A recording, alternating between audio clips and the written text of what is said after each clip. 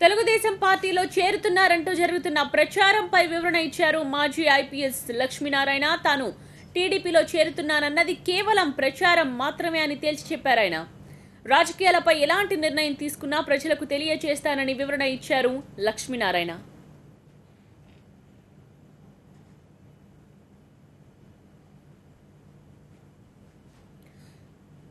ఇదే విషయంపై మరింత సమాచారం తెలుసుకుందాం. మా ప్రతినిధి మురళీకృష్ణ అందించడానికి సిద్ధంగా ఉన్నారు. మురళి ఎలా చూడాలి? టీడీపీలో చేరట్లేదైతే చేరట్లేదు అన్న విషయాన్ని అయితే ఆయన చెప్పేశారు. మరి ఇప్పుడు పొలిటికల్ హీట్ పెరుగుతున్న నేపథ్యంలో ఎలక్షన్ హీట్ స్టార్ట్ అయిపోయిన నేపథ్యంలో ఎటువైపు వెళ్ళే అవకాశం ఉంది?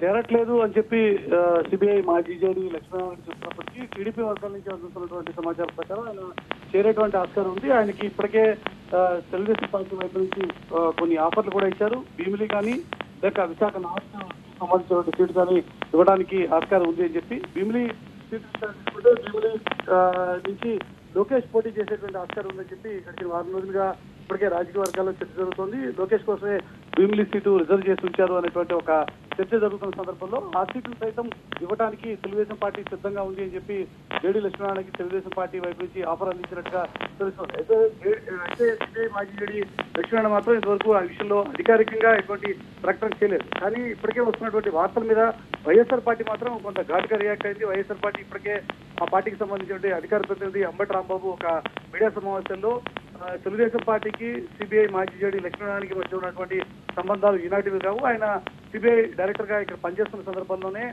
వారిద్దరి మధ్య ఉన్నటువంటి సంబంధాలు తెలుగుదేశం పార్టీకి లక్ష్మీనారాయణకి ఉన్నటువంటి సంబంధాల గురించి మాకు అనుమానాలు ఉన్నాయి. ఇప్పుడు ఆ ఆ పార్టీలో చేరేటువంటి అంశం తెర మీదకి రావడంతో ఆ అనుమానాలు మరింత బలపడుతున్నాయి అనేది అంబటి రాంబాబు చేసినటువంటి కామెంట్ ఆ క్రమంలోనే ఆ పార్టీ అధికారికంగా ఒక ప్రకటన కూడా విడుదల చేసింది. వీరిద్దరి మధ్య ఉన్నటువంటి నెక్సెస్ బయటపడింది అనేటువంటి విషయం మీద. అయితే ఈ విషయాన్ని కూడా పరిగణలోకి తీసుకున్న తర్వాత ఇంతవరకు అధికారికంగా జేడీ ఒక మాజీ జేడీ ఒక ప్రకటన చేయలేదు.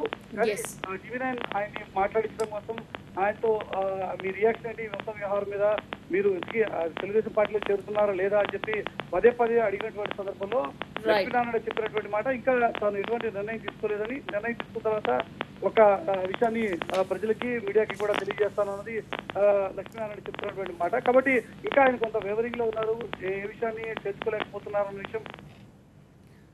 రైట్ మురళి. మొత్తానికి టీడీపీలో చేరుతున్న విషయం మాత్రం ప్రచారం మాత్రమే అది నిజం కాదు అని జేడీ చెప్పారు. ప్రస్తుతానికైతే ప్రజలకు చెప్పే పాలిటిక్స్లోకి వస్తానని మాజీ జేడీ తెలిపారు.